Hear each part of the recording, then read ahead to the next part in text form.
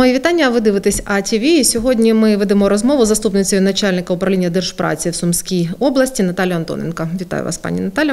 І е, моє сьогодні перше питання буде сто- стосуватися, скажімо, того, чим же сьогодні зайнята зайняте ваше управління, ваші інспектори, і яким органом скоріше можна назвати управління держпраці Е, дорадчим чи каральним? Е, Доброго дня ще раз. Е, На сьогодні управління держпраці здійснює свої повноваження, скажімо так, в штатному режимі, але звісно, з певними обмеженнями, в яких перебуває наразі вся країна. Я говорю зараз про карантинні обмеження. Управління держпраці здійснює як е, контрольні заходи, так і превентивні заходи. Однак акцентувати свою увагу сьогодні я б хотіла на саме інформаційно-роз'яснювальній роботі, яка з 11 серпня у нас активізована, хоча фактично вона триває е, з початку літа, а саме з 9 червня. Е, Хочу відмітити, що це не перша наша інформаційна кампанія. На початку року ми вже проводили. Однак ця, що триває сьогодні, вона є більш ширшою як за колом суб'єктів, так і е, за обсягом інформації, інформації, яку ми доносимо до роботодавців. Щодо вашого питання, яким органом є наше управління, то Звісно, ми наділені повноваженнями здійснювати заходи контролю. Однак е, позиція, як і керівництва служби, що в першу чергу інспектор праці повинен е, доносити до роботодавців. Превенції, да? він повинен е, попереджувати порушення, а не карати. Але звісно, коли за результатами заходів контролю виявляємо порушення, то від покарання вже не уникнути. Хочеться тут може навести от фразу з кінофільму місце зустрічі змінити не можна. Порушень без покарань не буває. Ну е, тож роз'яснювальна робота. Хто сьогодні охоплений цією роз'яснювальною роботою? Про що розповідають підприємцям і керівникам підприємств, роботодавцям, ваші інспектори? Як я вже сказала, е, не перша це наша інформаційна кампанія. На початку року ми охоплювали суб'єктів господарювання сфери торгівлі товарами та послугами, сфери організації харчування та тимчасового розміщування. Наразі е, до цих суб'єктів господарювання додані ще й е, роботодавці сфери будівництва, транспорту, торгівлі пальним, а також сільського господарства. Тобто практично всі вже так? Ну, можливо, да, можна сказати, практично всі. Немає промисловості, де, деяких іще галузей. Е, Що ми доносимо? В першу чергу інспектор праці переконує. Роботодавця про, звісно, про перевагу легального працевлаштування, про недопущення фактів порушення порядку прийому на роботу працівників. В цю інформаційну кампанію, е, з-поміж іншого, інспектор праці за бажанням роботодавця може надати ще й технічні консультації на робочому місці щодо порядку дотримання нормативно-правових актів з охорони праці та промислової безпеки. Може вказати роботодавцю на очевидні якісь порушення, ну як то, наприклад, невикористання працівником е, засобів індивідуального захисту. До речі, Якщо е, буде встановлено такий факт, то даний факт не буде мати ніякого ефекту бумерангу, а е, акцентування уваги воно буде носити виключно превентивний характер, якби попередження роботодавця про те, Що наступного разу можна отримати можна отримати покарання? вже да, на горіхи, як то кажуть. Ну і ще одне питання, з яким ми зараз звертаємося до роботодавців, воно визвано реаліями сьогодення, а саме карантинними обмеженнями. На держпраці покладено обов'язок проводити роз'яснювальну роботу про необхідність дотримання протиепідемічних заходів, тобто при виході на Підприємства при безпосередніх візитах, яких, до речі, ми вже на сьогодні е, зробили близько 9 тисяч, ми е, доводимо до відома роботодавця про необхідність забезпечення дотримання на території його об'єкта е, соціальної дистанції, на необхідність використання як робітниками, так і відвідувачі, якщо мова йде про сферу торгівлі чи громадського харчування. е, засобів індивідуального захисту, а також використання обов'язкове санітайзерів. Е, Головна мета захистити людину праці і або ж убезпечити все ж таки роботодавця від е, в майбутньому там штрафних санкцій. Ви знаєте, е, головна мета це переконати. І роботодавця, і працівника. Роботодавця переконати в тому, що все ж таки нелегальне працевлаштування працівника це крок до недобросовісної конкуренції, який зрештою приносить шкоду суспільству, державі, працівнику та й роботодавцю у випадку, якщо це порушення буде виявлене інспектором праці, переконати працівника також в тому, що е, він теж зацікавлений в офіційному працевлаштуванні, оскільки е, зарплата в конверті це його крок.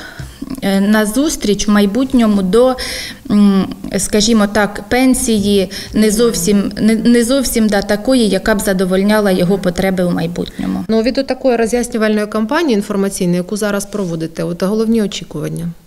Я б сказала, що очікуємо хоча б такого результату, який ми вже отримали за результатами е, кампанії, які проводили в січні в лютому. Це збільшення кількості застрахованих осіб, які, звісно, оформлені належним чином. І воно якби е, логічно за собою тягне збільшення ем, сплачених до бюджету сум єдиного соціального внеску. А чи маєте якісь цифри да, от по попереднім цим кампаніям? От е, результативність? Ага. Проводили ми роз'яснювальну роботу в січні, інспекційну, тобто контрольні перевірки в лютому. Так от, за даними головного управління пенсійного фонду, кількість застрахованих осіб у лютому порівнянні з січнем збільшилась майже на тисячу. Е, За даними е, е, головного управління податкової служби, також сума соціального внеску знову ж таки у лютому в порівнянні до січня збільшилась майже на 30 тисяч. Але я хочу відмітити, що навіть з початком цієї кампанії у червні. Порівнянні до травня ми розуміємо, що травень це були карантинні обмеження. Звісно, ем, березень, квітень, травень мало місця негативна динаміка. Так, от в червні, порівнянні до травня, а я ем, повернуся до того, що ми розпочали цю кампанію ще з 9 червня. Ми маємо знову ж таки приріст по обом показникам, як по застрахованим особам. е, Так і по сумі сплаченого ЄСВ, яка збільшилася от майже на 65 тисяч у червні порівняні до травня. Ну завжди актуальне питання це відповідальність у разі виявлення неоформлених працівників. Колись була така хвиля, от на початку, да, коли збільшилися суми цих штрафних санкцій. Роботодавці були просто в шоці, да, от, е, активно почали реєструвати своїх найманих працівників. От е, на сьогоднішній день, як це питання регулю- регулюється законодавчо, і все ж таки, яке покарання нестимуть роботодавці в разі виявлення таких фактів? Так, дійсно, питання відповідальності за неоформлених працівників воно було там червоним, скажімо так, для роботодавців. Вони неодноразово піднімали на рівні своїх асоціацій питання на законодавчому рівні щодо. Зниження е, суми штрафної санкції. Я хочу вам сказати, що е, органи влади їх почули, і в цьому напрямку відбулося коригування відповідальності в напрямку пом'якшення. Так, наприклад, якщо раніше за допуск працівника до роботи без належного оформлення е, була встановлена штрафна санкція 30 мінімальних заробітних плат за кожного працівника, відносно якого скоєно порушення, то наразі ми маємо наступну ситуацію.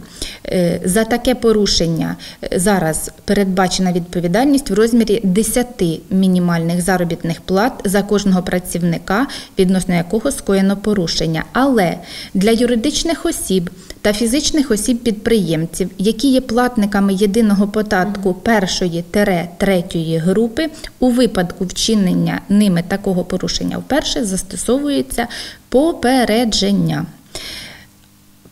Але якщо е, ці суб'єкти господарювання вчинять таке ж порушення упродовж двох років повторно, то тут вже матимуть штрафну санкцію у розмірі 30 мінімальних заробітних плат незалежно від групи оподаткування, да, так як раніше за кожного працівника допущеного до роботи без належного оформлення.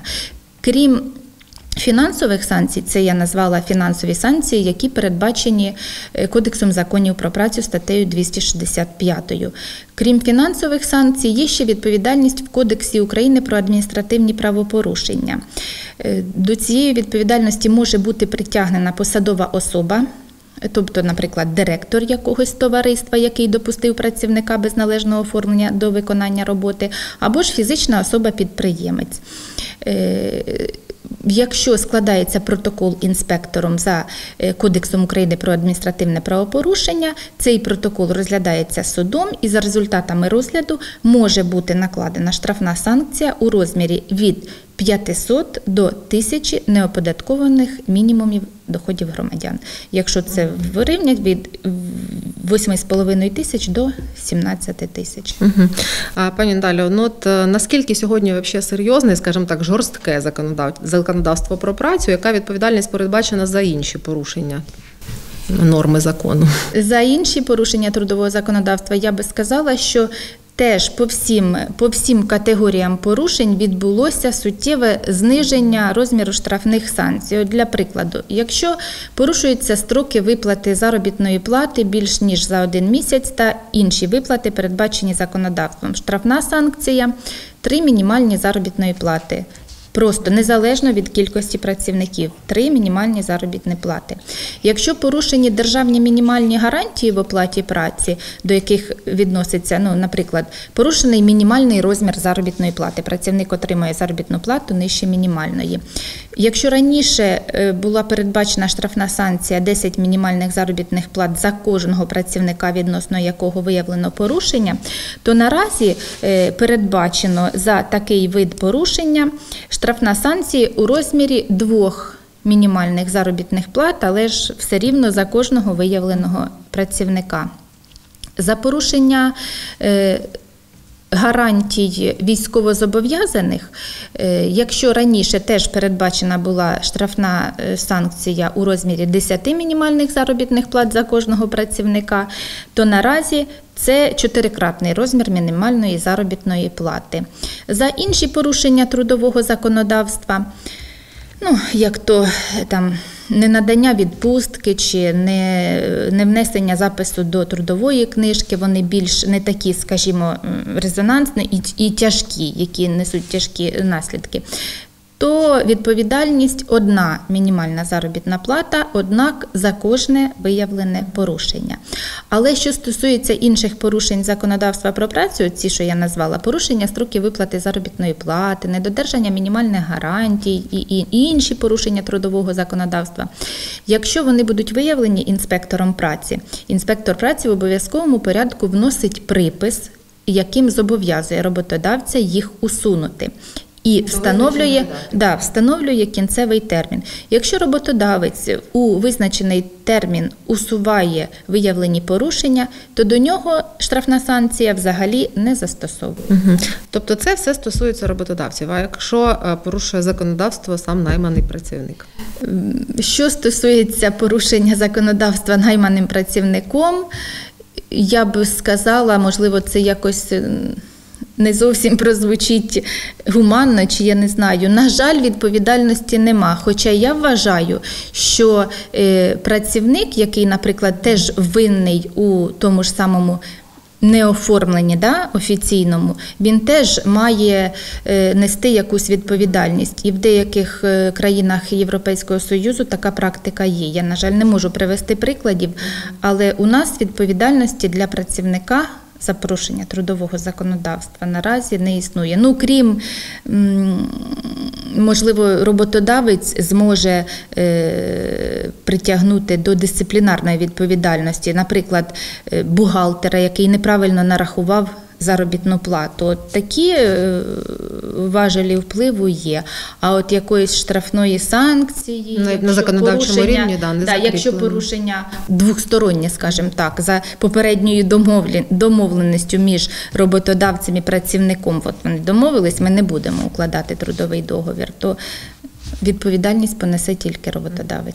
Ми вам дякуємо за розмову, да, за відверті відповіді на наше питання. Нашим глядачам нагадаємо, що сьогодні ми спілкувалися з заступницею начальника управління держпраці в Сумській області Наталією Антоненко. На сьогодні все. Втім, лишайтеся з АТВ, де завжди актуальна, тематична і вчасна інформація. На все добре.